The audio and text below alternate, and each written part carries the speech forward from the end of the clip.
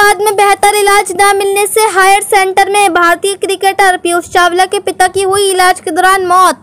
उत्तर प्रदेश के जनपद मुरादाबाद में कोरोना पॉजिटिव भारतीय क्रिकेटर पीयूष चावला के पिता प्रमोद चावला कोरोना से इलाज के दौरान हुई मौत। 10 दिन से बीमार चल रहे थे प्रमोद चावला। मुरादाबाद के निजी हॉस्पिटल कोसमोस में बेहतर इलाज न मिलने के चलते क्रिकेटर पीयूष चावला अपने पिता प्रमोद चावला को बेहतर इलाज के लिए ले गए थे दिल्ली। जहाँ उपचार के दौरान सुबह प्रमोद चावला का हुआ निधन। पीयूष चाव पीयूष चावला ने अपने सोशल मीडिया अकाउंट पर पिता की मौत की खबर की जानकारी दी। भारतीय क्रिकेटर पीयूष चावला के पिता की मौत की जानकारी मिलते ही शहर में गम का माहौल। परिजनों का रो रो कर बुरा हाल। दिल्ली में उपचार के दौरान हुई मौत। मुरादाबाद जनपद के सिविल लाइन थाना इलाके के रहने वाले भारतीय टीम के क्रिकेटर पीयूष चावला के पिता कोरोना संक्रमित थे, जिनको इलाज के लिए मुरादाबाद के निजी हॉस्पिटल कोसमोस में भर्ती करवाया गया था। पीयूष चावला की कोच बदर खान का कहना है बेहतर इलाज न मिलने के चलते पीयूष चावला अपने पिता को मुरादाबाद के कोसमोस निजी हॉस्पिटल से डिस्चार्ज कराकर बेहतर इलाज के लिए दिल्ली ले गए थे, जहाँ इलाज के दौरान पीयूष चावला के पिता की मौत हो गई है, जिसकी जानकारी पीयूष चावला ने अपने सोशल मीडिया अकाउंट से दी है। साथ ही अपने कोच बदर खान को मैसेज देखकर पिता की मौत की जानकारी पीयूष चावला ने दी है। जैसे ही कोरोना पॉजिटिव पीयूष चावला के पिता की मौत की जानकारी लोगों को मिली तो मुरादाबाद शहर शोक की लहर दौड़। परिवार वाले प्रमोद चावला की मौत के बाद से गम में हैं। परिवार जन वालों का रो रो कर बुरा हाल है। मुरादाबाद यूपी से परवेज अंसारी की रिपोर्ट।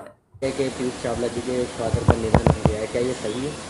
जी हाँ ये सही है और काफ़ी दुख की घड़ी है इस टाइम क्योंकि एक पीयूष चावला के फादर एक ऐसे इंसान थे कि हर किसी के लिए दुख के घड़ी में हमेशा साथ खड़े रहते थे और आज वो हमारे बीच नहीं हैं।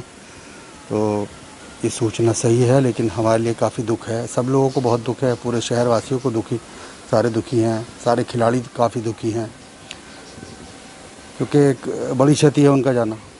अच्छा आपको सूचना कैसे मिली थी और कैसे क्या बात हुई थी क्या उनके घर से किसी से? नहीं मेरी बात नहीं उसका मैसेज आया था मेरे पास भी उसका फादर के लिए उसने व्हाट्सअप मुझे अभी किया था सुबह। अभी मेरी तीन दिन पहले बात हुई थी उससे, तीन चार दिन पहले फ़ोन पे बात हुई थी मेरी।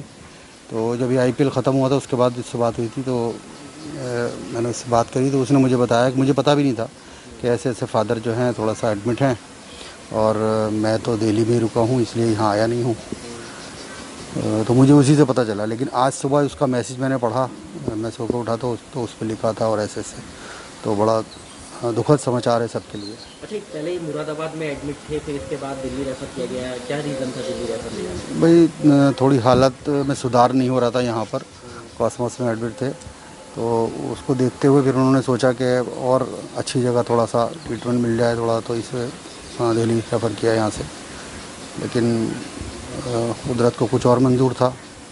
उनका साथ यहीं तक हमारे साथ था। और अब वो क्या कोरोना से संक्रमित थे? जी हाँ कोरोना से संक्रमित थे पॉजिटिव थे, इसलिए।